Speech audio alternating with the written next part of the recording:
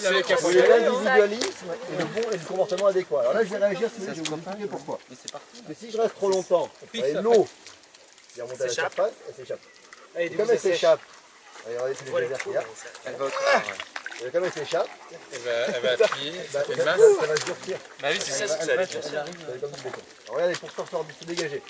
Bon là, je le fais, si j'étais en botte, euh, je vais Vous voulez qu'on prenne vos affaires Allez. Et en fait, ce que je fais, c'est que je bouge dans le fond, vous voyez, mon pied, pour reliquéfier le tout. Ouais, je fais ça. Je fais des ronds. Et après, surtout, ce qu'il faut faire, c'est répartir la pression. Donc vous mettez à genoux. À genoux, ça va suffire. Mais dans le pire des cas, il faudrait carrément s'allonger. Donc je pas la peine de reculer. Non, mais on se Mais voyez, regardez. Alors forcément, mon genou s'enfonce un peu. Mais après, voyez, vous appuyez un petit peu à côté. Et puis là, il va très peu s'enfoncer parce que j'ai vraiment, si vous voulez, Réparti. au moins réparti l'important. Ouais. Vous avancez progressivement comme ça, vous ressortez. Si vous voulez, là, la chance que j'ai eue, moi, je m'en doutais, c'est qu'il n'y avait pas assez d'eau pour que je m'en lisse plus que le genou.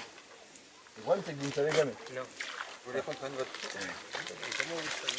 Pardon? Comment vous le saviez? Il y avait des sables mouvants là? Non, non, que vous alliez faire les- Oh, ben ça, je savais pas.